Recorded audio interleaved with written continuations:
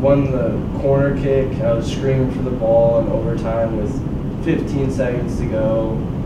Didn't get the ball, but Wheeler got the ball in the corner. I'm on the sideline. I just run into the box with no, excuse me, with no one guarding me, and then I literally just jump up for the ball that was going towards the middle of the goal, and I just headed the ball in. Surprised it went in because I don't recall the ball going in at all. I just remember people piling on top of me. Now Wheeler's on the ball. He gets a chance to whip it in. Six seconds left. The ball's into the box. Header. Goal! Fantastic header.